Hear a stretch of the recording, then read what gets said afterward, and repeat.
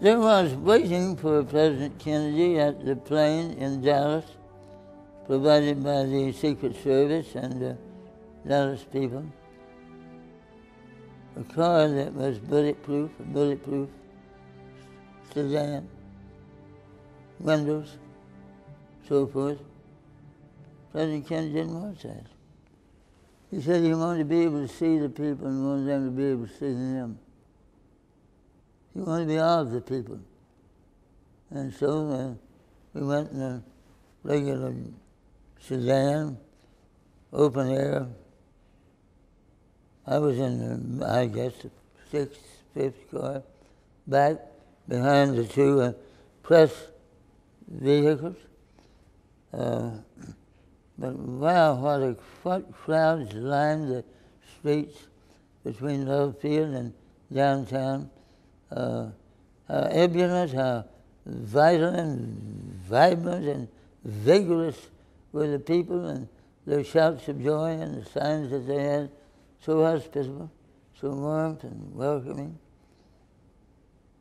Then we were pulling up, uh, going north toward Elm Street where we would turn left right under that uh, bookstore building uh, when I heard the first shot.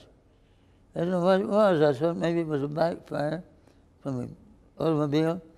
And then the second, and I knew instinctively that the second shot, I identified it as a rifle shot.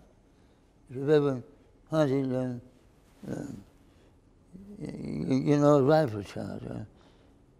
And then I thought, well, how foolish. Someone's trying to fire a 21 gun salute with a rifle. That's silly. And then the third shot.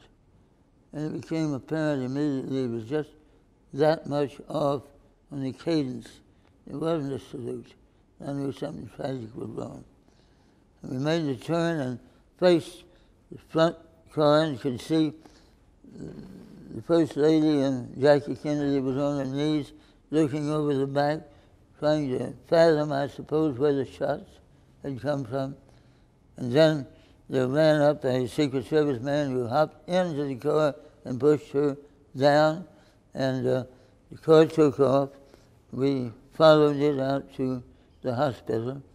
But as we passed that grassy knoll where people had been standing and watching as the president's car and the vice president's car had both passed, I could read in the looks on their faces stark horror that they had just witnessed.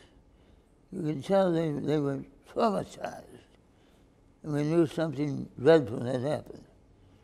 We followed out to, uh, to the hospital, and uh, as we arrived, a group were carrying President Kennedy into the hospital building, and John Connally was being helped he too having been injured. And within 10 minutes, we uh, knew, were told that the president had died. There's no way to describe the letdown, the terrible, tragic depths of despondency that it put us in. And there wasn't any way that we could express ourselves that it was a, a deep, deep depression that most of us felt for weeks. Uh,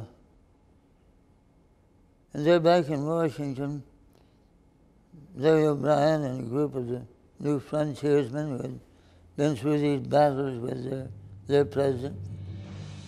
We'd been friends together and sat around the swimming pool sometimes together been on the presidential boat together.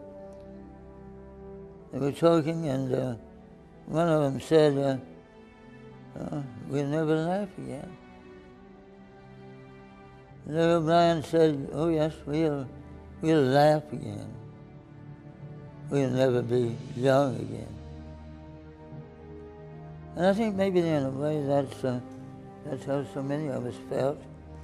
Those of us of that generation who had come to respect and revere this president and to appreciate the things he had done for our parts of the country.